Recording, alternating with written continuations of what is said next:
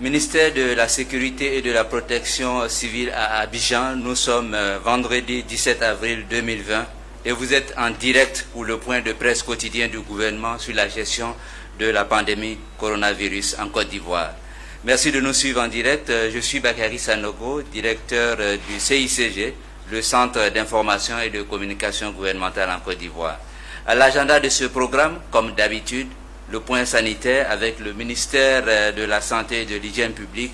Pour cela, nous avons le docteur Edith Clarisse Kwasi, conseiller technique au ministère de la Santé et de l'Hygiène publique. Pour les questions liées euh, aux mesures euh, de sécurité, nous avons le porte-parole de la police nationale, le commissaire principal Charlemagne Bleu. En plus de cela, deux grandes thématiques aujourd'hui, l'enseignement supérieur et la recherche scientifique et les ressources animales et halieutiques. Pour cela, les, invités sont Abdallah Abed Touakes Mabri, ministre de l'Enseignement supérieur et de la Recherche scientifique, et Moussa Dosso, ministre des Ressources animales et halieutiques. Pour commencer, le point sanitaire, euh, non, nous irons d'abord euh, avec euh, le ministre de l'enseignement supérieur et de la recherche scientifique, le docteur euh, Albert Mabri Toaqueuse. Monsieur le ministre, s'il vous plaît.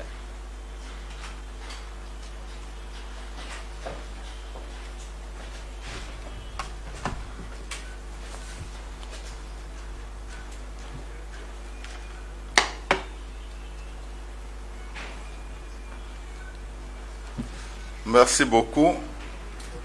Monsieur le ministre des Ressources animales et l'éthique, euh, mesdames et messieurs, chers amis de, la presse, vous savez tous que le Conseil national de sécurité, présidé par le président de la République, a pris des mesures euh, importantes et a lancé donc un plan national de riposte au Covid-19. Et ce plan de riposte, euh, au niveau de son axe stratégique numéro 7, la recherche euh, scientifique, la recherche opérationnelle dont nous avons la charge. Si je suis euh, donc là cet après-midi, c'est pour vous dire ce qui est fait au niveau de la recherche scientifique, mais également quelles dispositions nous prenons, puisque vous savez que nous abordons maintenant le deuxième mois de fermeture des établissements d'enseignement supérieur, quelles dispositions nous prenons pour donner la garantie que les enfants de Côte d'Ivoire, les étudiants, euh, pourront donc euh, achever leur année scolaire et présenter les examens. Je voudrais dire qu'au niveau de la recherche scientifique, la structure la plus connue et qui donc euh, conduit l'essentiel des activités actuellement en matière de Covid-19, c'est l'Institut Pasteur de Côte d'Ivoire.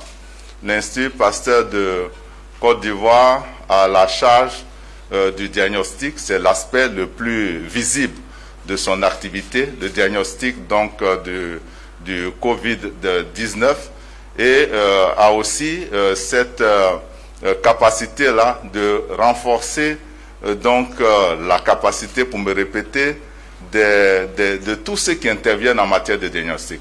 Donc il y a l'aspect diagnostic et il y a l'aspect formation de la mission de l'Institut Pasteur qui sont mises en œuvre et c'est dans ce cadre-là que euh, plus de 72 euh, biologistes ont été formés, ce qui va permettre à d'autres structures de faire le diagnostic du euh, coronavirus. Mais en dehors de ces questions, l'Institut Pasteur de Côte d'Ivoire a une mission de surveillance épidémiologique. Et pour nous, c'est l'activité la plus importante de, de loin. C'est une activité qui se conduisait et qui montre que chez nous, le coronavirus de d'autres sortes, euh, des, des, des euh, donc euh, virus hautement pathogènes peuvent avoir à circuler, notamment chez l'animal. Nous faisons un travail en rapport avec un laboratoire qui dépend du Mimoussa Dozo, le, l'ANADA, et, et je, je, pourrais vous dire que ces activités de surveillance sont aujourd'hui renforcées pour savoir ce qui se passe donc au niveau du Covid. Je terminerai par Pasteur euh, avec donc l'activité de recherche et donc la recherche opérationnelle. L'Institut Pasteur Côte d'Ivoire vient d'engager donc le séquençage du virus qui est chez nous pour savoir exactement quelle est la nature, le type, l'identité précise du virus qui est chez nous. Est-ce qu'il est le même que le virus qui circule en Europe? Est-ce qu'il est le même que le virus qui est, qui à Wuhan? Nous devons nous assurer, même si euh, jusque-là nous disons que nous avons eu des cas importés, euh, nous devons donner la preuve que euh, ces cas importés-là se font avec l'espèce de virus qui est retrouvé ailleurs ou qui est, propre à nous. Et puis bon, évidemment, il y a tout ce qui accompagne l'activité donc de Pasteur, des autres laboratoires, notamment la gestion des déchets médicaux. C'est un volet important parce que si nous ne faisons pas attention, nous allons avoir des difficultés. À côté de l'Institut Pasteur, nous avons des instituts, des centres de recherche, nous avons des, de certains départements de nos universités qui font de la recherche et qui, ces derniers temps, ont euh, mis à notre disposition des moyens d'accompagnement de la lutte. Euh, c'est le cas de l'Institut national polytechnique de Yamsokro, qui a donc essayer de, de, monter un gel, euh, hydroalcoolique, euh, mais qui a également euh, fait des propositions de masques qu'ils ont conçues au niveau des laboratoires de Yamsokro, mais qui mieux ont conçu un respirateur. Vous savez tous le, combat aujourd'hui pour l'acquisition des respirateurs au niveau du monde, mais l'INP est en train de nous dire que si le soutien arrive, ils sont capables de mettre sur le marché des respirateurs made in Côte d'Ivoire, euh, ce qui serait une excellente chose. Euh, pour terminer avec euh, un des chercheurs a trouvé donc une molécule qui pourrait être utilisée pour le traitement donc de, du, du Covid-19. Et puis nous avons le département de biosciences de l'université Félix Houphouët-Boigny qui là aussi a mis deux, trois catégories de, de gel hydroalcoolique mais également une tisane euh, qui pourrait être utilisée dans la prévention. Euh, c'est des euh, substances fongicides, bactéricides. je veux dire que ça tue les virus, ça tue les, les bactéries. Et, et, donc, mais c'est l'aspect que nous recherchons ici, surtout pour la tisane, c'est le renforcement de la capacité immunitaire des individus. Donc, on pourrait utiliser en prévention. Et il y a également d'autres molécules qui ont été découverts pour le traitement, pour le traitement du Covid. Alors vous savez que tout ce qui concerne des substances, euh, surtout des médicaments, euh, il y a tout un processus de validation. Donc des tests sont en cours. Nous nous attelons en rapport avec le ministère de la Santé pour accélérer euh, tout le processus. Il y a des échantillons qui sont au LANADA, il y a des échantillons qui vont arriver au laboratoire national de, santé publique et, tout cela va nous permettre de savoir si ce que nous avons ici, surtout en termes de médicaments, peut être euh, efficace et ne pas être nocif en même temps euh, pour l'essence humaine. Il s'agit de la santé humaine et on prend toutes les, précautions à ce niveau. Je voudrais dire que nous avons réuni donc un certain nombre de chercheurs avec l'appui du Centre suisse de recherche scientifique, de l'ensemble de nos instituts, centres de recherche et des universitaires je suis heureux de vous dire que des Ivoiriens de la diaspora, des universitaires, notamment à partir de la France, ont participé à cette vidéoconférence et ont dit leur disponibilité, font partie des groupes de travail que nous venons de mettre en place. Et ce plan de riposte volé recherche scientifique a été évalué et le document a été déposé auprès du comité national pour prise en compte euh, à l'effet de la mise en œuvre de toutes les propositions que nous faisons. La recherche ici, doit beaucoup plus être une recherche opérationnelle, c'est-à-dire une recherche qui accompagne, qui voit la situation, qui, euh, par exemple, sur les volets communication, euh, peut faire des propositions pour dire, pour tel ci, pour tel. Donc, on a mis euh, ici en place des équipes multidisciplinaires. C'est une question de santé publique et les questions de santé publique doivent avoir un traitement multisectoriel. Donc nous avons des anthropologues, des sociologues, des médecins cliniciens, des médecins de santé publique, des statisticiens, des biologistes. C'est ce genre d'équipe-là qui est en train de travailler avec des thématiques euh, qui sont euh, élaborées.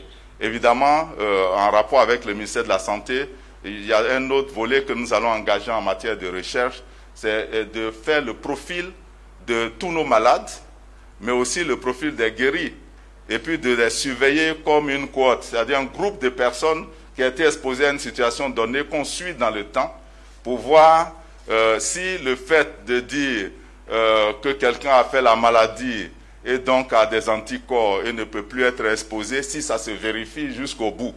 Si ce n'est pas le cas, s'il y en a un ou deux qui échappé à, à, ça, qu'est-ce qui s'est passé? Est-ce que c'est la mutation qui est à la base? Ce n'est pas la mutation. Donc il y a beaucoup de matière de recherche à faire et nous sommes en œuvre et les équipes euh, sont prêtes, mais au niveau de nos laboratoires, du travail est en cours.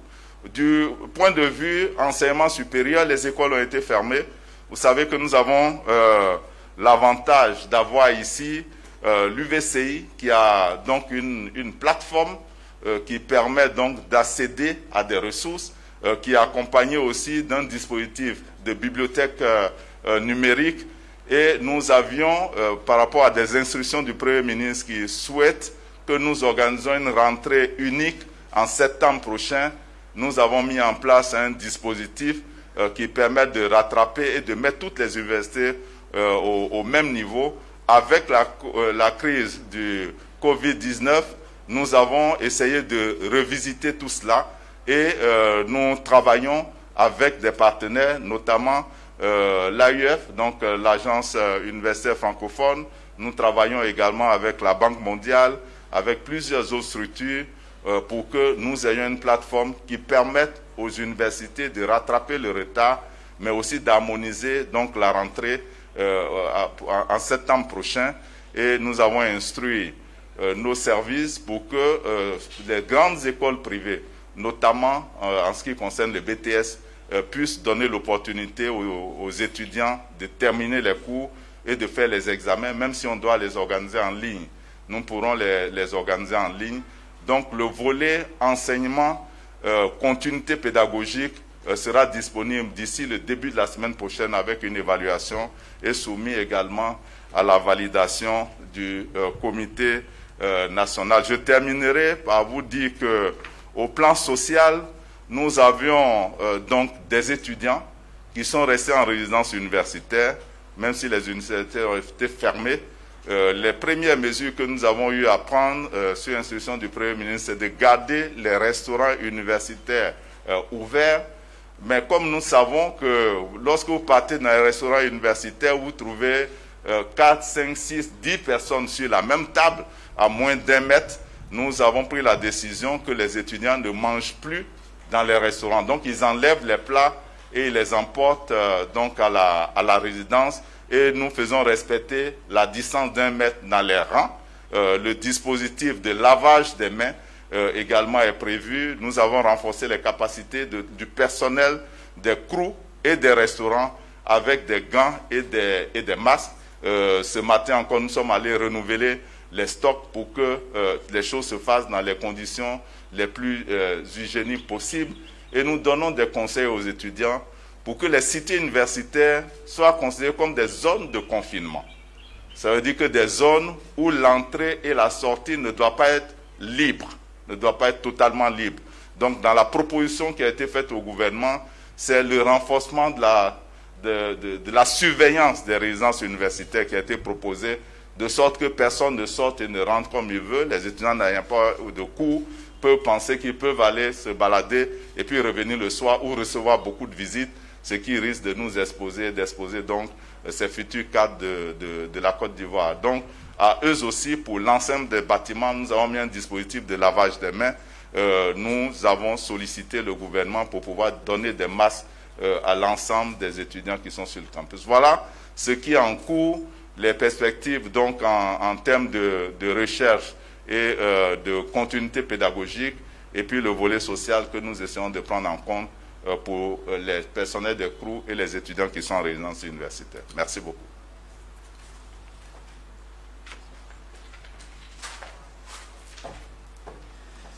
Merci beaucoup. Vous étiez là donc en direct avec M. Albert Mavritroaqueuse, ministre de l'Enseignement supérieur et de la Recherche scientifique. Nous sommes dans une, plateforme d'information, d'échange, de, communication. Monsieur le ministre le disait tout à l'heure, si vous êtes expert, vous êtes sociologue, anthropologue, psychologue, médecin, que vous avez des contributions à faire, des adresses utiles ici. Une adresse mail info covid29 gouv.ci. Info covid pardon 19 pas 29 info covid19 gouv.ci. Vous avez aussi un numéro WhatsApp 225 66 22 22 22. Tout comme vous le savez maintenant, les numéros d'appel vert gratuits, le 101, le 125, le 143, le 119. Voilà des numéros donc à votre disposition. Nous le savons aussi, au nombre des mesures en vigueur pour euh, éviter euh, euh, la propagation de, de la pandémie, il faut se laver régulièrement les mains. Il faut observer la distance d'au moins un mètre porter le masque dans la zone du Grand Abidjan, euh, tousser dans le creux du coude, mais aussi, il est bien indiqué, ne pas consommer de viande de brousse. Sur la viande et bien d'autres aspects liés à l'alimentation, à l'approvisionnement des Ivoiriens en ressources euh, animales et halieutiques, nous accueillons ici le ministre Moussa Dosso. Monsieur le ministre.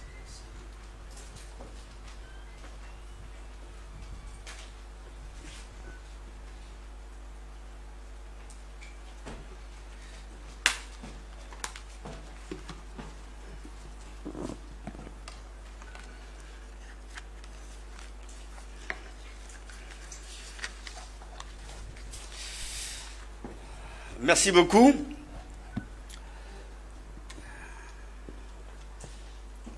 Monsieur le ministre de l'Enseignement supérieur et de la recherche scientifique, euh, chers frères, mesdames et messieurs, euh, je voudrais avant tout féliciter parce que c'est une euh, information que je n'avais pas sur les, les résultats euh, de la recherche en Côte d'Ivoire. En tout cas, bravo, on va donc les, encourager.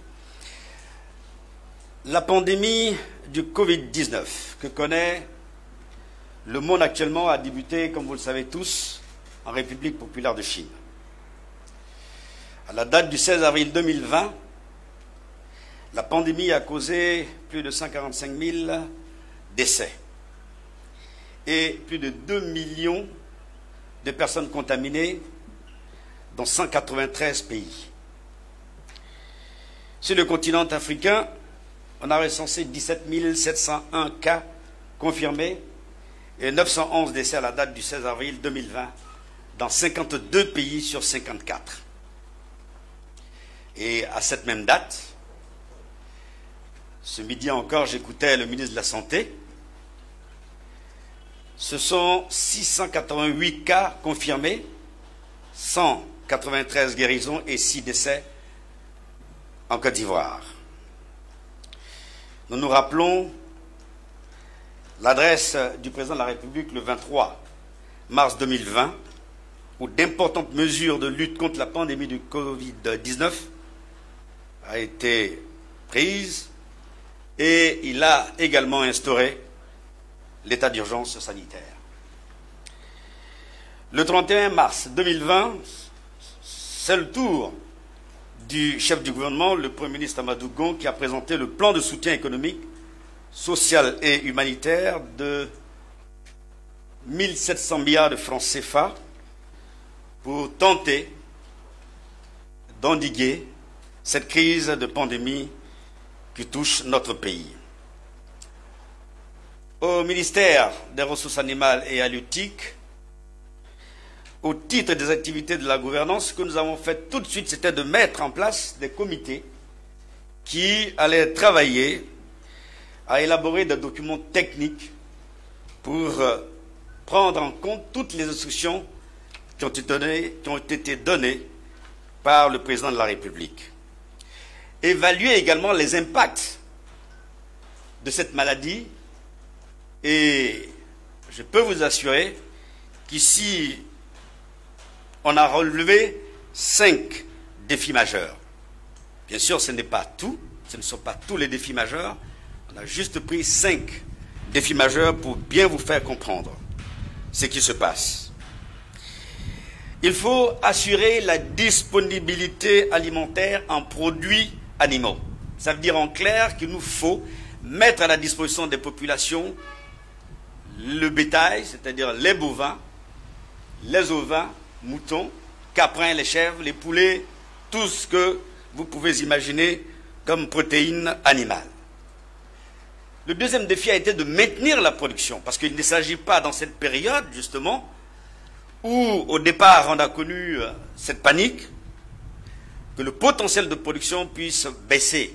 Il fallait alors pour cela prendre les mesures pour maintenir ce potentiel de euh, production. Le troisième, défi a été de maintenir les revenus des acteurs. Difficile, mais aujourd'hui on peut valablement, sans risque de nous tromper, dire que là encore le gouvernement a fait preuve, n'est-ce pas, d'anticipation, et ça nous reviendrons là-dessus tantôt s'il y avait des questions là-dessus, pour vous donner exactement ce qui a été fait en matière de fonds pour appuyer le euh, euh, système économique de la Côte d'Ivoire. Le quatrième, c'était de maintenir les emplois stables de nos sœurs, les femmes et les jeunes dans le secteur des ressources animales. Tout ce qui touche les marailleurs, les aviculteurs, les fumeuses, les braiseurs, bref, assurer le maintien euh, de l'emploi dans les différentes entreprises qui sont touchées par cette crise. Ce n'est pas facile, mais nous poursuivons les discussions avec les différentes euh, entreprises pour essayer de maintenir toutes ces personnes en place. Et puis le cinquième défi, ça a été d'assurer le maintien de la santé publique vétérinaire. Alors, ce qui m'amène à aborder une question que vous n'avez pas souvent rencontrée ces derniers temps. ce sont les actions de santé animale et la surveillance épidémiologique. Qu'est-ce que je veux dire? Alors, lorsque vous avez affaire à une personne qui est contaminée, qui a donc fait la maladie, et que ce dernier a des animaux de compagnie, c'est-à-dire à la maison vous avez des animaux domestiques, les chiens, les chats, et j'en passe, il faut faire extrêmement attention parce que ceux-là peuvent recevoir cette maladie et ne pas développer des symptômes. C'est hyper important et je voudrais vraiment souligner cet aspect-là qui, pour l'instant, jusque-là, n'a pas été pris en compte dans nos discussions. L'animal peut recevoir, et il est là à la maison. Celui qui a la maladie est guéri, mais l'animal peut après ressortir donc ce, ce virus-là pour le donner à d'autres membres de la famille. C'est pour ça que ce point-là, j'ai tenu personnellement à le rajouter parce que ça n'a pas été vraiment abordé. Et on a des cas, au début de la crise et récemment encore aux États-Unis, des cas de transmission de personnes vers l'animal. Il faut savoir que c'est dans les deux sens. Hein. Nous, hommes, on peut donner à l'animal, l'animal également peut donner à l'homme, mais l'animal peut donner à l'animal également. Donc tout ça, nous devrions les prendre en compte, et c'est ce que nous essayons justement de faire comprendre à tous aux acteurs qui euh, ont un lien direct avec la manipulation avec les animaux. Donc c'est tous ceux qui ont des parcs, ce sont les éleveurs, c'est tout ce monde-là que nous essayons de sensibiliser pour que tout cela puisse prendre en compte la possibilité de transmission de l'homme vers euh, l'animal. Alors, j'ai des exemples tout à l'heure, donc au cours de la conférence, pour ceux qui veulent avoir des éléments d'information sur les cas de contamination des hommes vers les animaux. J'ai donc ici une liste qui peut vous édifier sur les conséquences de cette maladie grave et importante que le monde connaît aujourd'hui. Alors, pour terminer sur le cas justement de ces, de ces animaux, euh, il faut aussitôt regarder le carnet de vaccination de l'animal. C'est exactement la même chose avec les humains que nous sommes. Vous voyez que dans certains pays, on exige le carnet de vaccination des hommes, donc des humains, mais de cette même façon, il faut que vous-même, qui êtes euh, propriétaire de ces animaux-là, il faut que le carnet de ces animaux de compagnie puisse, n'est-ce pas, euh, être à jour. Alors, je voudrais ici m'autoriser donc un petit commentaire, puisque nous a demandé d'utiliser donc un langage qui, soit compris par tout le monde. Je veux juste revenir sur l'importance et la gravité de cette maladie pour dire à nos frères et sœurs qu'il s'agit véritablement d'une maladie grave. C'est une maladie qui tue. Vous avez vu le cas en Côte d'Ivoire, il y a eu six décès. J'espère qu'on va s'arrêter donc à ces six décès. J'entends ça et là des propos, mais je ne crois pas qu'on va faire le procès de ces personnes-là. Ce qui est important, c'est que le message du gouvernement soit bien compris, bien ciblé, pour que toutes les mesures qui ont été préconisées par le président de la République et l'ensemble des ministères, notamment le ministère de la Santé qui a à charge directe de cette pandémie, que ce message soit bien compris. Parce que, vous allez retenir encore donc un peu un chiffre, 75% à 80% des maladies des hommes. Vous en connaissez la provenance? Ce sont les animaux qui transfèrent ces maladies aux hommes. C'est pour ça que la santé animale a pris de l'importance ces dernières années. Et même le bien-être animal également. Parce que simplement, aujourd'hui, on parle d'une seule santé. C'est une notion qui est nouvelle et qui, justement, vous montre la limite entre le monde animal et le monde des humains. Tout ce que nous on prend pour nous guérir, eh bien, ce sont les mêmes médicaments qui sont utilisés pour guérir les animaux. Et je voudrais vraiment m'adresser à nos frères et sœurs, nos parents et la population pour dire qu'il faut qu'on garde ces mesures-là en tête et que cela rentre dans les comportements habituels de nos populations. Mesdames et messieurs, mon collègue a parlé du laboratoire, je ne vais pas revenir là-dessus, mais il est possible que le ministère, à travers donc l'ANADA, puisse aider le ministère de la, de la Santé, l'Institut Pasteur, pour essayer de mettre en œuvre un certain nombre de tests. Nous avons donc la capacité, nous avons les vétérinaires, euh, dont le métier c'est vraiment euh, euh, tout ce qui touche le monde animal, et nous pouvons apporter cette expertise au niveau de nos collègues qui ont à charge ces différents laboratoires. Et puis très rapidement, je voulais donc vous rassurer sur les besoins. Nous avons fait des stocks. Le stock en matière de production animale, à la date d'aujourd'hui, on est entre deux et trois mois de disponibilité. Ça veut dire quoi? Ça veut dire concrètement, il n'y aura pas à se précipiter, il n'y aura pas une crise au niveau en tout cas de la viande, des bovins, des ovins, des caprins, de la volaille et j'en passe. L'évaluation donc est faite, j'ai les chiffres et je pourrais donc vous le mettre à votre disposition. Nous avons du stock à l'avance pour trois mois et nous sommes régulièrement en contact avec euh, toutes les grandes entreprises dont le métier est l'import-export et bien sûr avec des entreprises au plan national pour la production locale. Je peux vous rassurer qu'au niveau des produits de la pêche, c'est exactement la même chose. Alors, au titre du ministère, ce que nous avons fait, bien entendu, comme tous les ministères qui ont à charge de la gestion de ce Covid-19, nous avons édicté des documents, nous avons mené des visites de travail au niveau des entreprises de notre secteur d'activité. Ça a été à Noumambo, où récemment donc, nous avons été rendre visite à des femmes qui, dont le métier était le fumage de poissons. Hier, nous étions à l'abattoir et à Zimbabwe, donc c'est un quartier que j'ai découvert euh, euh, à, l'occasion. Euh, là encore, on a pu parler à nos, nos sœurs qui font le fumage du poisson. Toutes ces étapes-là ont vu le ministère remettre du matériel. Tout ce que nous remettons en pareille circonstances, il s'agit bien sûr de gel, il s'agit de savon, il s'agit de masques, de gants et euh, euh, autres seaux pour justement que les quatre mesures phares qui sont euh, préconisées dans le cadre de cette maladie soient appliquées régulièrement par toutes ces structures et nos partenaires dans ce ministère. Je voudrais donc, euh, mesdames et messieurs, donc terminer là, puisque notre intervention ne doit pas durer, ne doit pas aller au-delà de huit minutes, on m'a-t-on dit. Et donc, euh, je voudrais me prêter tout à l'heure aux questions pour euh, un peu plus de détails. Je vous remercie.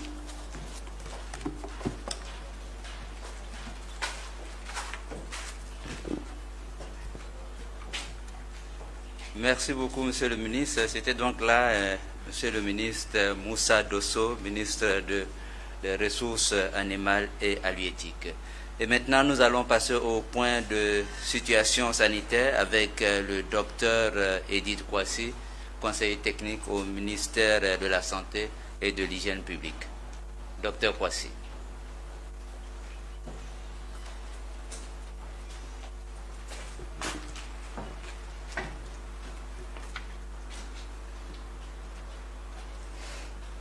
Merci la ministre.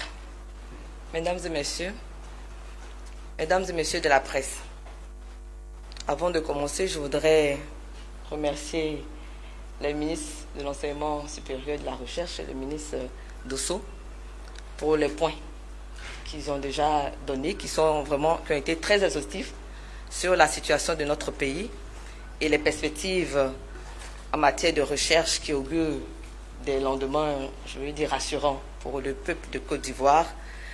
C'est la traduction parfaite de la multisectorialité face à la, lutte contre le Covid. Je voudrais néanmoins faire quelques commentaires à la suite des données qui ont été déjà euh, présentées par les deux ministres qui nous ont précédés. Malgré l'augmentation du nombre de cas au Covid-19, 688 à la date d'hier, avec les 34 nouvelles, nouvelles infections, nous pensons que il est bon de rappeler que euh, les guérisons également progressent de plus, en, de plus en plus et il est heureux de le constater. Nous sommes passés à 193 malades guéris du Covid-19 avec les 47 nouvelles guérisons d'hier. C'est pourquoi le ministre de la Santé et de l'Hygiène publique, le docteur Eugène Akawile, appelle à la prudence et la vigilance des uns et des autres. Le combat contre la pandémie dans notre pays doit continuer avec l'implication de tous. Redoublons donc d'efforts et adoptons véritablement les mesures barrières préconisées par le gouvernement. L'heure est grave, car chaque jour, le nombre de nouveaux cas augmente et nous préoccupe. Cependant, il est encore possible, en agissant convenablement, de modifier la trajectoire de la pandémie dans notre pays. Notre pays, la Côte d'Ivoire, comme le dit notre hymne national, nous appelle. Travaillons dans l'union et la discipline à le sauver, en y stoppant la progression de cette pandémie. Dieu nous aidera certainement si nous jouons notre partition. Le ministère de la Santé et de l'Hygiène publique veut encore insister sur la dangerosité et la contagiosité de cette maladie virale qui sévit dans le monde entier et bouleverse tous les projets de développement.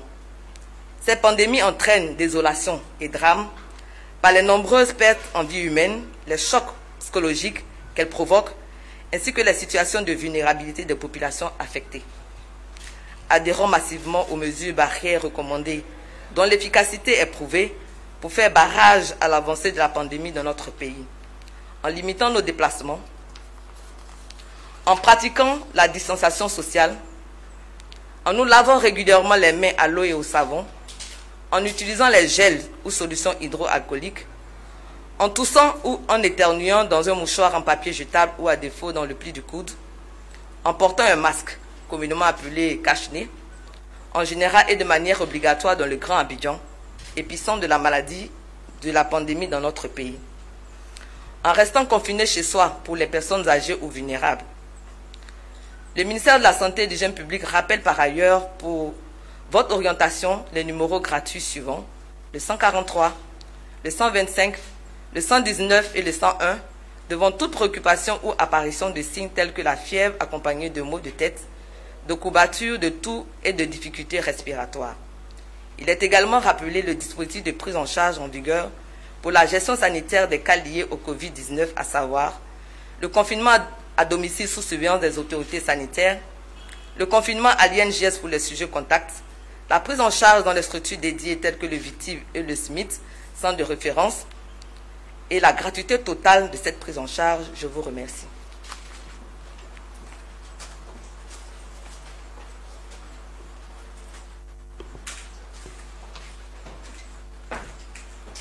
Merci beaucoup, docteur euh, Edith Kwasi, pour ce point de situation sanitaire.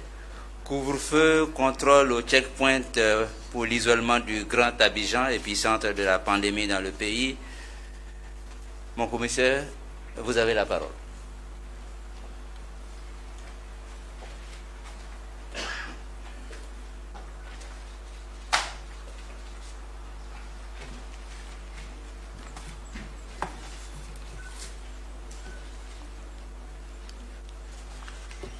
Merci, M. Bakari.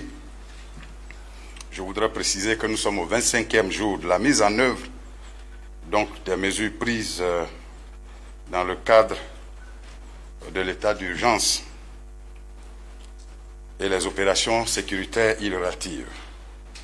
À ce jour, dans la nuit d'hier à aujourd'hui, au plan national, ce point regarde essentiellement les activités sécuritaires menées par l'ensemble des forces de défense et de sécurité, notamment la police, la gendarmerie, les militaires, donc de toutes les armes, armées de l'air, armées de terre et marine, ensuite la douane, les eaux et forêts, les éléments, les agents de la protection civile, la police maritime et j'en passe. Interpellés, 17 au plan national, Abidjan 1, 16 à l'intérieur du pays. Personnes assistées dans la période du couvre-feu, 43, dont 31 urgences sanitaires et sociales. Un jeune garçon de 4 ans qui a été abandonné par ses parents hier à 23 heures à Yopougon Port 2, qui a été secouru donc par nos patrouilles et déposé au centre social le plus proche. Donc je disais Abidjan 22 et intérieur 21 personnes et 12 autres assistés en termes donc de panne et assistance à entreprises d'électricité et autres. Au niveau des engins mis en fourrière, nous notons deux. Abidjan 0, intérieur 2, donc un véhicule et une moto à Katiola. Corps enlevé 02. Abidjan, un corps à Yopougon, envoyé donc euh, déposé à la morgue euh, du kilomètre 17 et à Katiola, à la gare de train, un corps enlevé de suite d'un accident de train et déposé à la morgue de Katiola. Ce qui nous donne à ce jour un point, un point global au 25e jour des interpellés 785, Abidjan 88, intérieur 697.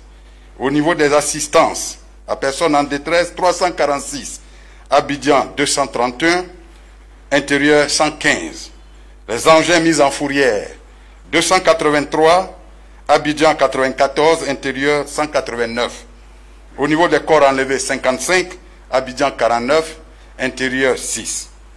À l'analyse de ces chiffres, nous constatons tous ensemble une nette amélioration du niveau d'assistance apporté aux personnes et autres entreprises en détresse pendant la période du couvre-feu.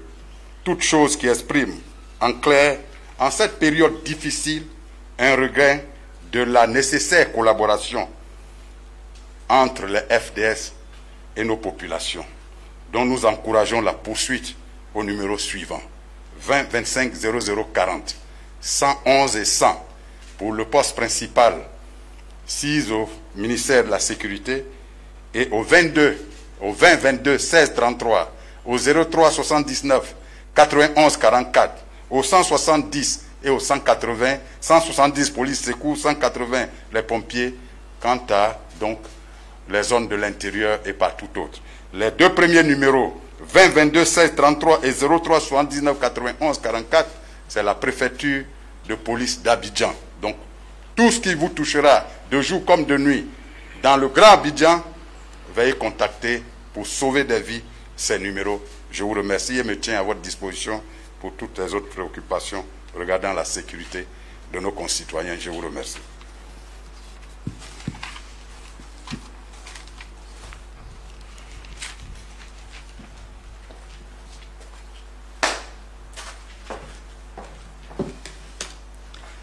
Voilà. Merci, merci donc au commissaire principal Charlemagne Bleu pour ce point de situation euh, sécuritaire. Et maintenant, nous allons passer au jeu de questions-réponses. Nous prenons déjà cinq questions pour commencer. Oui, madame, vous vous présentez, votre nom, l'organe que vous représentez. Merci beaucoup, Monsieur Sanogo. Euh, merci, Messieurs les ministres, Monsieur le commissaire Charlemagne, pour votre exposé, Madame Kwasi. Alors, ma première question s'adresse au ministre euh, Albert Toakus. Je ne sais pas trop prononcer Toakus. Je m'appelle Corona Sekongo, journaliste à Business 24. Merci beaucoup. Alors, la première question, c'est que je ne sais pas trop si les Yakuba ont du mal à faire une différence entre le gel et une solution. Mais ce que moi j'ai vu à l'université de Cocody, c'était une solution parce que ça peut s'utiliser sur la peau, les, vêtements, euh, sur d'autres objets, plusieurs objets. Donc, ça a été un plaisir pour nous en tant qu'Ivoiriens de découvrir cette solution-là à l'UFR Biosciences. Les Ivoiriens qui ont vu le reportage sur euh, cette solution demande à quand la disposition dans, dans les grandes surfaces. Donc, je vous pose cette question, à quand la disposition? Le commissaire Charlemagne, euh, on sent un relâchement au niveau de la population dans la lutte contre le Covid-19. Hier, par exemple, moi, j'ai aperçu deux bacs pleins. Il n'y avait pas d'espace, il n'y avait pas le respect des 1 mètre. Qu'est-ce qui est fait à ce niveau-là? Est-ce que vous avez fait la remarque? Est-ce que vous avez fait le constat? Et qu'est-ce qui est fait? Monsieur le ministre Dosso, euh. comment vous prenez les dispositions pour vous assurer de la sécurité alimentaire, surtout de la ressource animale, la viande, le poisson? On sait que maintenant, il n'y a pas assez d'affluence sur nos marchés ordinaires. Je ne parle pas des grandes surfaces de euh, distribution, mais sur les marchés ordinaires que nous avons à Bobo, Clocha, machin, tout ça. Quelle, quelle, disposition vous prenez, quelles précautions vous prenez pour, que vous, vous assurer que la viande qui est distribuée sur le marché est, de qualité? La conservation est, bien faite. Merci. Deuxième euh, intervenant. Oui, monsieur, derrière. J'ai quatre questions. Je peux y aller? Oui, allez-y, monsieur. D'accord. Bonsoir, Mahama Traoré de RTI 1. Euh, mes premières questions s'adressent à monsieur le ministre de la Recherche scientifique et de l'enseignement supérieur. Monsieur le ministre, vous avez annoncé de bonnes nouvelles quant à ce que font nos chercheurs. En s'interrogeant, vous avez dit que le processus de, finalisation de la recherche, ça, demande, ça prend en compte beaucoup d'aspects. Alors, jusqu'à quand euh, vous vous donnez, sinon, que vous ont dit les experts jusqu'à la finalisation de cette... Est-ce que les résultats seront finalisés jusqu'à la fin de la propagation de cette maladie-là pour ne pas un peu tomber dans le dicton qui dit euh, le médecin après la mort? Sait-on jamais? Alors, la deuxième question, est-ce qu'il n'est pas temps, avec l'expérience de cette pandémie-là, d'apporter un soutien plus accru à nos chercheurs pour leur permettre de produire des résultats plus probants? Une question à Madame la conseillère technique du ministre de la Santé. Qu'en est-il de la cartographie de la propagation de la, maladie? Au début, on nous disait que Cocody et Macori étaient les zones les plus touchées. Aujourd'hui, qu'en est-il avec l'évolution du nombre de cas? Et dernière question à Monsieur le ministre des Ressources animales et halieutiques. Monsieur le ministre, vous aviez parlé de, la disponibilité de 2 à 3 mois pour les produits animaliers. Si j'ai cru bien comprendre, qu'en est-il des produits euh, halieutiques? Ok. Euh, troisième intervenant. Oui. Bonjour, Yeli Traoré, NCI. J'ai deux questions. La première s'adresse euh, au ministre de l'Enseignement supérieur. Euh, le ministre a évoqué des chercheurs en fait qui travaillent pour trouver des solutions par rapport au Covid-19. Je voudrais savoir en fait si, comment dire, des fonds spéciaux sont mis à la disposition de ces chercheurs éventuellement.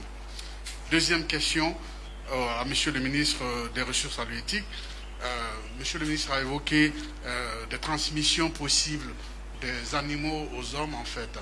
Maintenant, je veux savoir comment ça se passe concrètement lorsque euh, quelqu'un d'infecté a des animaux. Est-ce qu'il y, y, a des dispositions pour essayer de s'assurer que ces animaux-là sont pas infectés pour ne pas contaminer, par exemple, l'entourage Merci.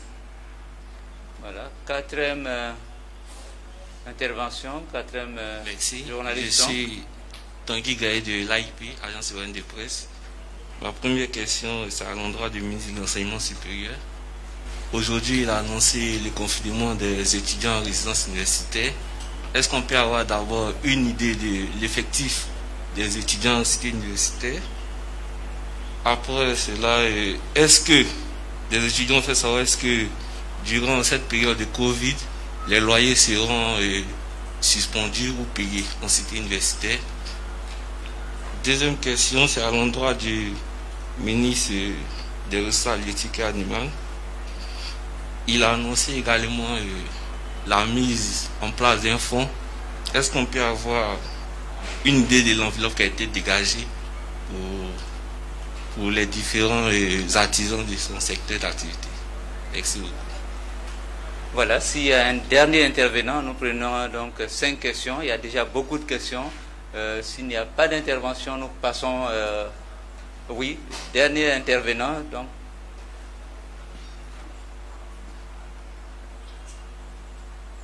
Merci. D'abord, vous dit journal Le Patriote. Euh, M'adressant au ministre de l'Enseignement supérieur. S'agissant de, de, la quantité des activités pédagogiques, au niveau des étudiants, vous allez mettre le cours en ligne. Il y a combien d'étudiants qui, pourront bénéficier de ces cours et avec quels moyens? On sait qu'en ce temps, le gouvernement avait décidé de la distribution du euh, le projet un étudiant, un ordinateur. Comment, va se passer avec euh, la crise en cours?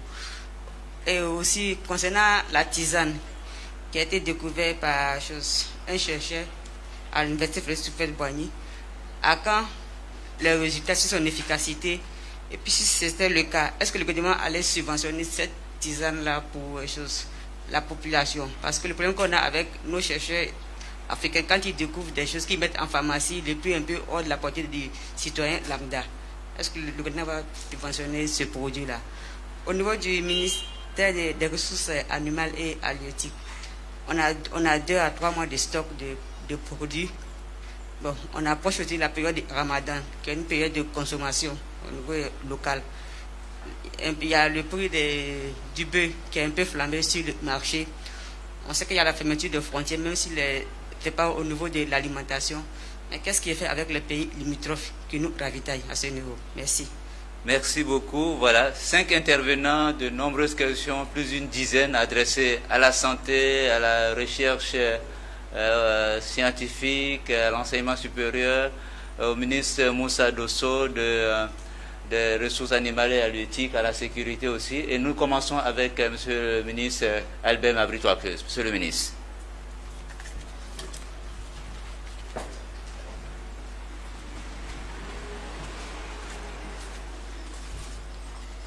Merci beaucoup, Sanogo? Non, voyez, c'est ça le problème des xénophobes. C'est-à-dire, ils, croient qu'ils peuvent commander partout, ils peuvent, même quand ils n'ont pas la capacité d'agir, le commissaire qui est proche là, est-ce que vous le connaissez, le commissaire qui est assis là? Donc, si vous voulez aller en stage dans les montagnes, on va vous envoyer pour vous faire des rappels sur les terres de vos patrons. Donc je remerciais le maître de cérémonie, il s'appelle Sanogo. Maintenant c'est Congo qui peut-être euh, veut jouer à la fille faut la plus intelligente, euh, a raison de dire que les solutions sont différentes des, gels et effectivement euh, dans les substances qui ont été présentées par le département de biosciences, il y avait une solution. En fait, il s'agit d'huile essentielle qui ont été trouvés à partir donc, du jardin botanique de l'université Félix Houphouët-Boigny et euh, qui pourraient avoir des usages multiples. Euh, c'est justement dans les services du ministre Moussa Dosso que nous avons déjà envoyé les échantillons pour que les premiers tests soient faits. Vous savez, tout ce qui doit être utilisé par l'humain, le test est fait d'abord sur l'animal. Et puis après, on fait le test sur l'humain où on parle des essais cliniques, etc. Avant qu'on ne commence effectivement à mettre sur, sur le marché. Donc ce sont ces étapes-là que ça franchit et votre question rejoint euh, une autre qui a, qui a suivi après pour dire que euh, nous demandons aux services qui procèdent aux tests d'essayer d'accélérer pour que ça puisse servir à la gestion de la crise. Mais évidemment, il ne faut pas sauter les étapes. parce qu'il s'agit de la santé des hommes et nous devons prendre toutes les précautions. Donc dès que ces étapes auront été franchies, nous ferons en sorte que cela soit mis à la disposition des populations. C'est euh, justement ce que je dirais pour, pour la tisane également. Maintenant, on m'a dit est-ce que ce sera subventionné? Je pense qu'il sera pertinent, euh, tant que la crise demeure, que l'État fasse en sorte que ce produit soit accessible au plus, au plus grand nombre, parce qu'évidemment, si ça peut, aujourd'hui, notre meilleure stratégie, la stratégie AMI, c'est la prévention. C'est la prévention. Parce que si on n'est pas dans la prévention de manière efficace, que nous sommes face à, des milliers de cas, nous aurons des difficultés. Vous voyez que des grands pays euh, à travers le monde sont à genoux. C'est pas euh, nous, malgré hein, les, dispositions déjà prises par le gouvernement, qui allons euh, pouvoir faire quelque chose. Donc, il faut prévenir. Et je serais d'avis qu'une tisane pareille soit subventionnée par l'État. On dit quel soutien on apporte aux chercheurs. Nous avons déposé un projet auprès du comité national euh, qui a été évalué à environ 13 milliards avec toutes les, composantes et les thématiques de recherche, y compris la recherche opérationnelle, euh, y compris la, ce que l'INP a fait, donc la production industrielle du gel qu'ils ont trouvé, y compris demain euh, ce qu'on pourrait faire à partir donc euh, des solutions du département de biosciences de l'université Félix Houphouët-Boigny. Donc nous avons évalué, nous attendons un, accompagnement euh, pour les masses, par exemple, que l'INP pourrait mettre sur le marché. ça ne demande même pas 20 millions pour pouvoir en produire un, certain nombre. Évidemment, si on veut produire en grande quantité, on peut aller au-delà. Nous essayons de développer le volet industriel de nos établissements. Euh, y compris de l'Institut Pasteur, qui a la capacité d'avoir passé industrie aujourd'hui avec les réactifs que nous pouvons produire ici et commercialiser auprès des laboratoires et des pays de la, de la sous-région. Euh, y a-t-il des fonds spéciaux pour les chercheurs? C'est justement ce que nous avons sollicité du gouvernement et nous avons euh, bon espoir que le, la recherche opérationnelle étant l'un des axes stratégiques, que nous aurons une suite favorable pour permettre à nos euh, chercheurs d'aller vite dans les travaux à faire. Euh, quel est l'effectif des étudiants en cité universitaire C'est une belle question euh, parce que le phénomène de Cambodgien est encore là. Par exemple, à Abidjan, je dis que j'ai 11 000 lits, dont à peu près la moitié de disponibilité actuelle. Mais si vous, on a dénombré le nombre des étudiants qui sont encore en résidence universitaire actuellement sur le campus et à Mermoz et quelques-uns, une centaine à peu près aux 220, euh, nous nous recevons avec presque 13 000 euh, qui sont dans les résidences universitaires. On était obligé de le faire pour en tenir compte au niveau de la restauration. Euh, et, donc, c'est pareil à Boaké, c'est pareil. Donc, pour ce que nous avons distribué dans les tout premiers jours de la crise, nous, nous l'avons fait pour à peu près 20 000 étudiants. Pour à peu près 20 000 étudiants. Et, donc, c'est cela qu'il faut essayer de, de, prendre en compte. Euh, le loyer, bon, évidemment, vous voyez, euh, même pour le loyer du citoyen ordinaire, l'État est en train de demander des efforts de la part donc des, des, des locataires. Ce n'est pas l'État lui-même qui fera pas d'efforts. Mais je ne pourrais pas vous dire exactement à quel niveau l'effort sera fait, mais nous ferons le plaidoyer en faveur des étudiants euh, qui, quand ils ne sont pas démunis, sont des fois de parents qui, de, ménages difficiles. Euh, combien d'étudiants auront accès aux ressources en ligne? Mais c'est tous, y compris ceux qui sont dans les établissements d'enseignement privé. C'est la perspective de faire en sorte que les universités publiques, les grandes écoles publiques, les universités privées et les grandes écoles qui forment au BTS, que tous aient la possibilité donc d'avoir euh, des étudiants qui ont accès donc aux ressources en ligne. Aujourd'hui, les statistiques ne sont pas euh, très précises, mais nous avons entre 250 000 et 300 000 étudiants en Côte d'Ivoire. Euh, donc, c'est cela que nous devons faire. Mais par exemple, quand nous prenons pour les établissements qui forment au BTS, nous voulons donner la priorité aux étudiants qui sont en année de BTS pour pouvoir terminer leur formation et valider leur diplôme. Le projet Un étudiant, un ordinateur en cours, mais ici ce sera des ressources multiples que nous voulons mettre en place euh, qui vont permettre à ceux qui ont des ordinateurs, ceux qui ont des tablettes et euh, d'autres voies qui seront utilisées pour que eux tous aient euh, assez. je terminerai par dire que nous avons donc dans le cadre du projet du volet enseignement supérieur demandé avec le patronat de, travailler pour tous ces établissements qui sont sinistrés. Vous savez, on a fermé les écoles, il y en a qui n'ont pas reçu les, dotations de l'État pour prendre en charge les, bacheliers que nous affectons. Euh, d'autres n'ont pas vu même les droits d'inscription payés par, par certains étudiants et pourtant il faut payer les enseignants. Les enseignants exigent qu'on leur fait les rappels de salaire avant euh, qu'ils ne reprennent les cours. Donc nous sommes en train d'évaluer pour que dans le cadre des fonds mis en place pour les PME, PMI, l'État puisse assister le secteur privé de l'enseignement supérieur. Merci beaucoup.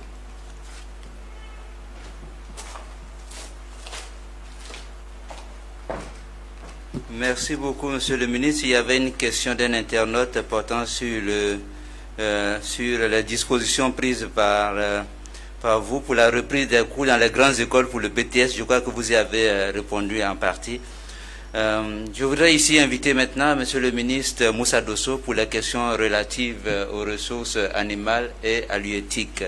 en attendant, déjà, je peux poser la question d'un internaute à Madame le ministre, à Madame docteur Kwasi, en charge de la santé, il s'agit de savoir euh, le lien entre euh, les, nouveaux cas et les tests effectués chaque jour. Existe-t-il un lien entre les nouveaux cas et les tests effectués chaque jour? Si oui, combien de tests effectués chaque jour? Voilà, je profitais donc pour passer cette question internaute.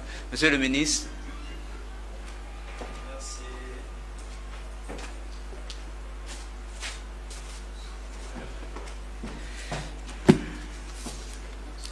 Merci, merci beaucoup. Alors, euh, la première question est sur euh, la sécurité alimentaire, c'est-à-dire comment s'assurer que le marché est bien approvisionné et aussi la qualité de la viande qui est mise à la disposition euh, des, des, Ivoiriens. hier, dans la matinée, j'étais en visite de travail à l'abattoir de Port-Boué. Et ce que je savais a été confirmé par la visite que nous avions effectuée euh, à l'abattoir de Port-Boué. J'étais à l'abattoir avec le ministre-gouverneur du district, M. Mombé, et le maire de la commune de Port-Boué. Ce que je peux vous dire, c'est que les vétérinaires sont logés au sein de l'abattoir. Par conséquent, toutes les cargaisons qui viennent du nord, c'est-à-dire du Mali, du Burkina, du Niger, avant de passer dans la salle d'abattage, sont contrôlées. Deuxièmement, les bêtes, par la suite, sont abattues des prélèvements sont faits sur les animaux abattus. On prend le foie, on prend euh, une partie du poumon, on prend une part, et on va pour les analyser avant de mettre un, je ne sais pas comment on appelle ça, c'est un cachet, hein, je ne sais pas si vous appelez ça cachet, mais en tout cas il y a un tampon qui est mis sur la viande. Et si vous faites attention, en général vous avez de l'encre bleu-violet sur les parties arrière du bœuf, enfin de la viande de façon générale, eh bien c'est le saut de la qualité que le vétérinaire, justement, après avoir fait ses prélèvements et les analyses, qu'il donne. Donc c'est un quitus qu'on donne pour que la, la, viande puisse maintenant passer dans les casseroles. Alors, madame, je peux vous assurer que les choses sont faites dans l'ordre et bien faites par la présence des vétérinaires sur l'ensemble des abattoirs de euh, la Côte d'Ivoire et particulièrement sur l'abattoir de la ville euh, d'Abidjan de Port-Boué. Alors, la deuxième euh, question, c'est concernant la disponibilité. Vous aviez parlé de, oui, j'ai parlé de deux, trois mois, alors que bientôt il y a le ramadan. Mais euh, ce que je peux vous dire, c'est que ces temps-ci, j'ai vraiment pu nouer d'excellentes relations avec les acteurs de la filière. Parce que c'est une information quotidienne que nous essayons d'obtenir. Parce qu'il ne s'agit pas de créer donc une pénurie euh, pour euh, créer des, des, difficultés. Et on a, j'ai même visité avant deux, trois grandes entreprises d'import-export dans le domaine du poisson, dans le domaine de la viande. Nous sommes passés à, voir euh, le président de la Confédération du bétail en Côte d'Ivoire, qui lui couvre le Burkina, le Mali, le Niger et bien d'autres pays. Ils sont tous assurés que pour le ramadan, c'est vrai que la disponibilité déjà suffit pour euh, gérer le ramadan, puisqu'on est à cheval sur deux mois, avril et mai. Mais malgré cela, ils feront donc un stock de sécurité qui va permettre justement d'éviter d'abord les prix, hein, parce qu'aujourd'hui il y a des petits malins qui profitent de cette crise-là pour augmenter euh, les prix de la viande, le prix du kilo de viande, de poulet, etc.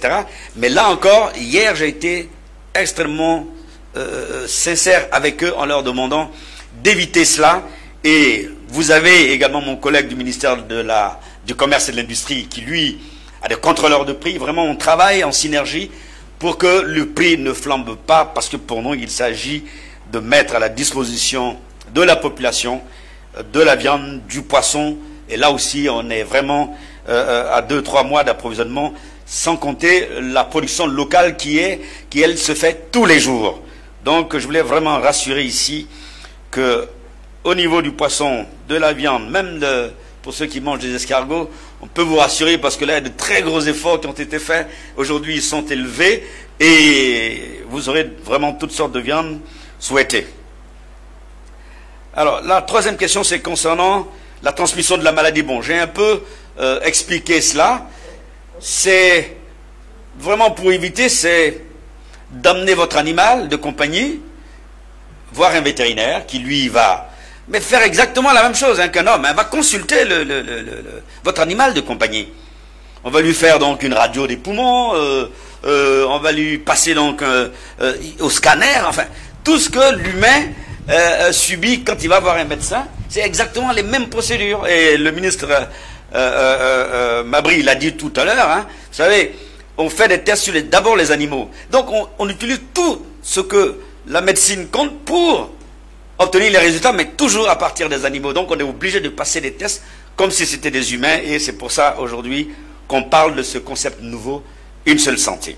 Donc à ce niveau-là, faut simplement envoyer voir votre animal de compagnie, comme vous l'aimez bien, il ne faut pas qu'il soit malade, et il doit avoir un carnet à jour, comme nous-mêmes. Moi j'ai un carnet de vaccination qui est à jour euh, de l'ensemble des, vaccinations. Euh, alors, il y a quelqu'un qui m'a posé, c'était la quatrième préoccupation, voilà, si vous voulez, je peux vous donner des, éléments hein, d'information euh, sur, euh, euh, voilà, en début de crise à Hong Kong, donc en Chine, il y a un berger allemand de deux ans, voilà, qui a, à partir de son patron, qui a contracté la maladie. Mais avec les animaux, et d'ailleurs chez les hommes aussi, hein, monsieur le ministre, comme il est médecin, va peut-être me confirmer, il y a des hommes qui peuvent ne pas faire la maladie. C'est bien cela? Voilà. Mais c'est exactement la même euh, attitude chez les animaux. Eh bien, ce berger allemand n'a pas fait la maladie. Voyez? Par contre, le cas de la Belgique, c'est un, chat, lui, tout de suite, il y a eu des symptômes, on a vu, vomissait, voilà, il était triste, euh, et évidemment, il a développé la maladie. Bon, les exemples, les tigres aux eaux de New York, des lions, ont été tous contaminés par ceux qui venaient justement leur donner à manger. Et là, encore une fois, il n'y a que les vaccinations qui peuvent, n'est-ce pas, sauver euh, ces différents animaux. La quatrième question, c'est la mise en place du fonds. Oui, euh, vous avez suivi euh, tous, le mardi et le mercredi de cette semaine, le gouvernement a adopté des mesures fortes pour aider le secteur privé et au titre de ces mesures, on a la création de fonds dédiés aux grandes entreprises, voyez, aux PME, au secteur informel. Et là, dans le secteur informel, on retrouve beaucoup d'acteurs, n'est-ce pas, euh, euh, euh, de chez moi dans les, parmi ces, demandeurs. Alors, concernant le montant qui est consacré, eh bien, les études sont en cours puisqu'on nous a demandé de les rencontrer et en fonction des dossiers qui nous parviennent, tout cela va être agrégé et transmis au gouvernement pour que l'enveloppe globale qui a été indiquée, je crois c'est 95 milliards, je ne me rappelle plus, bah, va pouvoir être, n'est-ce pas, disséqué et attribué pour le besoin du secteur privé. Voilà, pour donc les acteurs du secteur privé. la dernière question, bon, c'est concernant les deux, trois mois de caution, le ramadan, les prix, les pays limitrophes, oui. Vous savez qu'on a des accords avec les pays limitrophes dans le cadre justement de l'approvisionnement de nos marchés. Mali, le Burkina, le Niger et bien d'autres pays. Et ce que je peux vous dire, en début de crise, c'est normal, on a connu justement ces ralentissements parce qu'il y avait des mesures de sécurité à mettre en place, notamment nos collègues de la sécurité et de la défense avaient besoin d'un petit moment pour mettre en place, n'est-ce pas, des procédures, parce qu'il fallait contrôler tous ceux qui rentraient et tous ceux qui sortaient. Le cheptel qui rentrait, qui en principe après les camions devaient retourner, ça a pris un peu de temps de flottement, mais aujourd'hui c'est chose faite. Euh, avant-hier d'ailleurs j'étais en contact avec le ministre de la Sécurité. Maintenant quand les camions arrivent, ils sont déchargés, ils retournent aussitôt. Et cela avec euh, l'appui des directeurs de cabinet. Mon directeur de cabinet veille à cela et vraiment, je peux vous dire aujourd'hui, il y a une fluidité de l'information et il y a également une fluidité au niveau du retour de tous ceux qui nous envoient ces cheptels en Côte d'Ivoire. Voilà ce que je peux euh, euh, vous donner comme élément de réponse à vos questions. Je vous remercie. Je crois que c'était tout. Merci.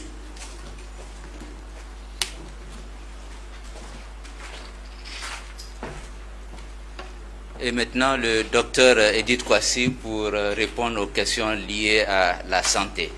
Docteur Kwasi.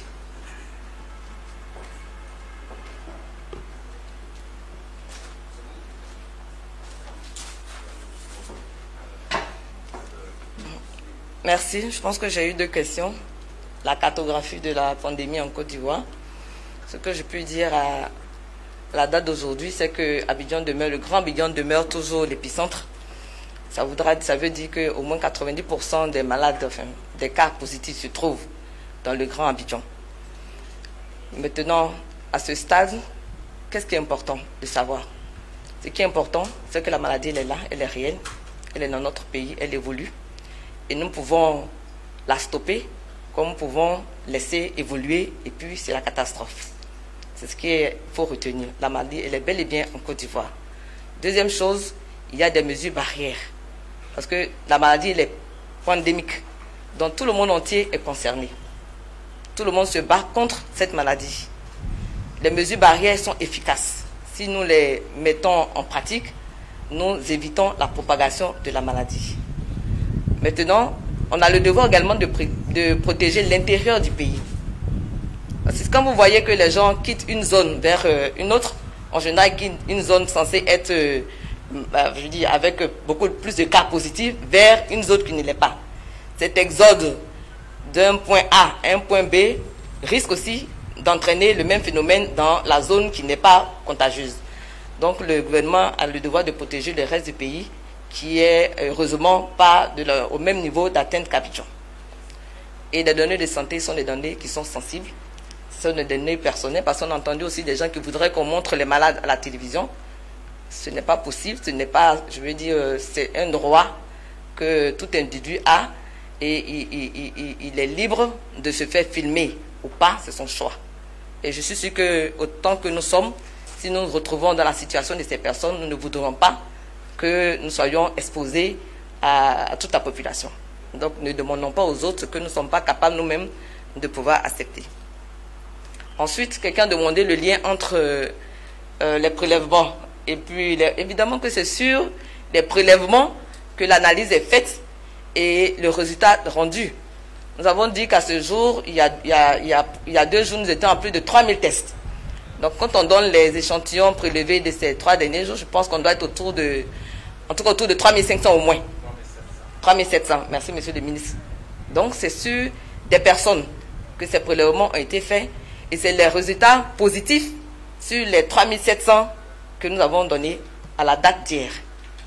Ce que je peux expliquer, c'est sur des prélèvements qu'on fait le test et qu'on diagnostique des sujets positifs ou non au Covid-19. Merci.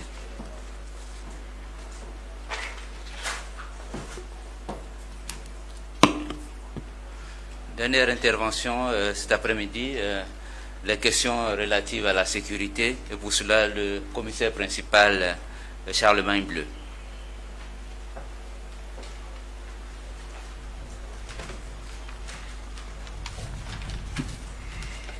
Merci. Vous voulez savoir, euh, Madame Corona,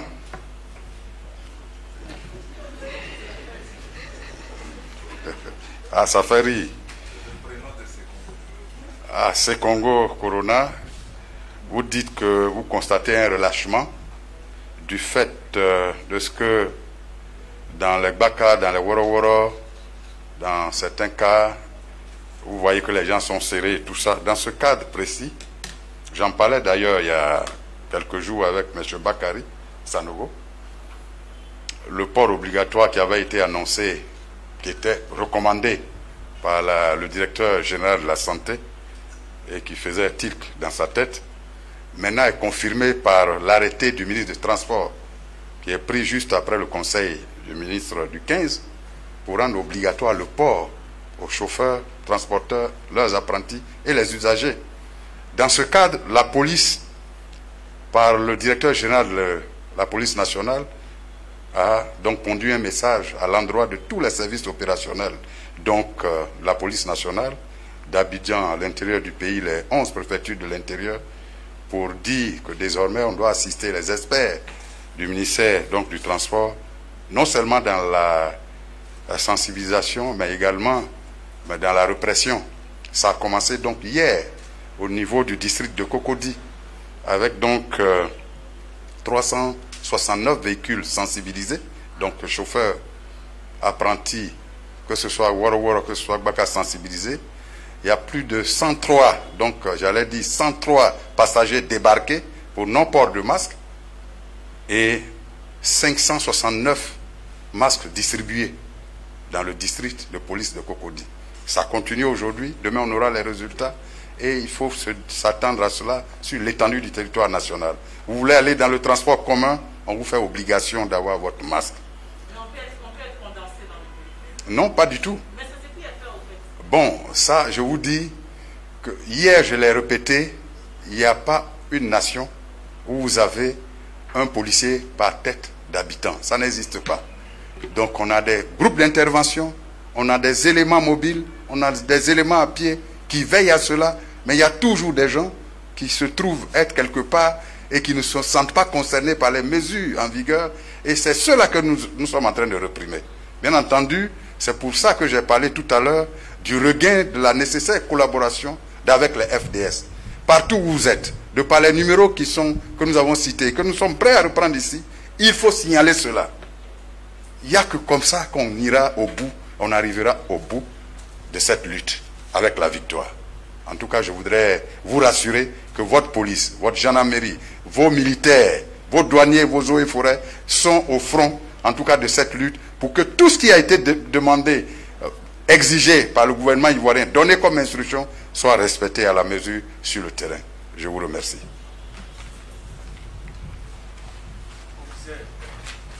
Oui. Oui.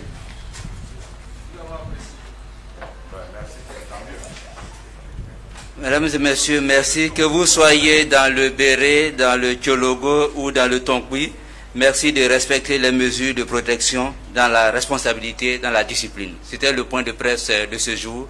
Merci de nous avoir suivis et à demain.